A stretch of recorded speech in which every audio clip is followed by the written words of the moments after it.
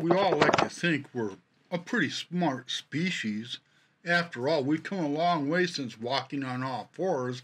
In the last hundred years or so, we've seen a lot of rapid progress. But something strange is going on. You and I, we're getting stupider. The average IQ just ain't what it used to be, and it ain't an improvement. That's right, the average IQ is declining, dropping, falling off a cliff. On average, a person has lost about 10 IQ points. In case you're unaware of what IQ is, it's a measure of our intelligence, our ability to reason and problem solve. IQ stands for intelligence quotient and is expressed as a number between 85 and 115. If you're an American citizen watching this, you're probably thinking you don't have much to worry about. Because as Americans, that's what we do. We don't worry about the important shit, just the mindless shit. Thing is, we ain't even in the top 10 nations with people that have high IQs.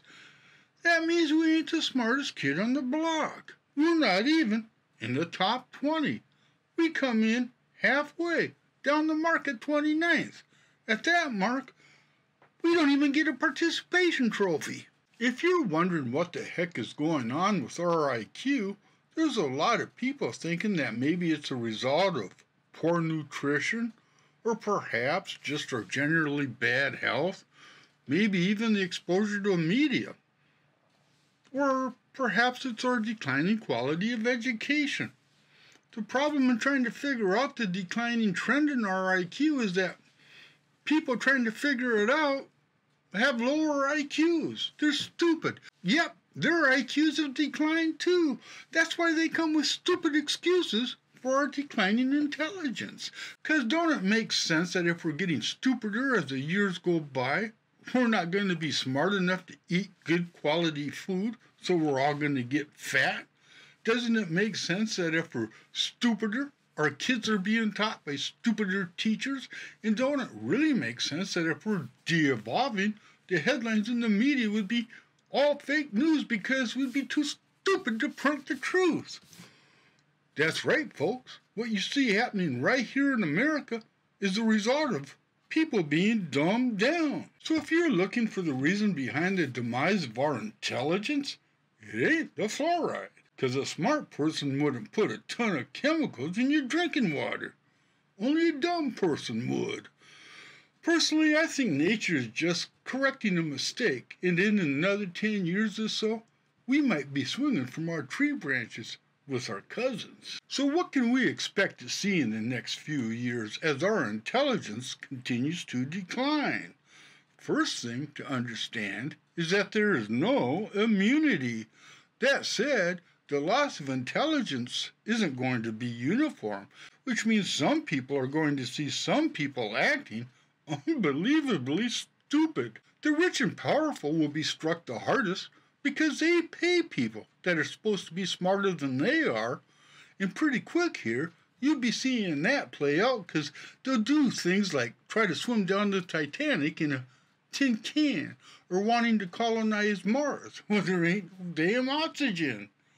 Unfortunately, we're already seeing the lack of intelligence in our politicians and that's because they've never really been all that smart to begin with. I fully expect to see a rise in those who believe in conspiracies, UFOs, myths, and monsters, because when people struggle with reality, the stupid come up with some pretty cool excuses. We're already seeing people that have forgotten what soap, a toothbrush, and deodorant are for, and I'm sorry to say, even the damn president won't even know how to use toilet paper. Of course, our stupidity will be evidenced in our media with some of the stupidest headlines humans have ever come up with. So if you think it's bad now, just wait a bit. All in all, there's some good news. None of us are going to be smart enough to figure out what's going on. Ignorance really will be a bliss. Yeah, I did this. You know, if you're waking up in the morning feeling not as bright as you were yesterday, now you know why.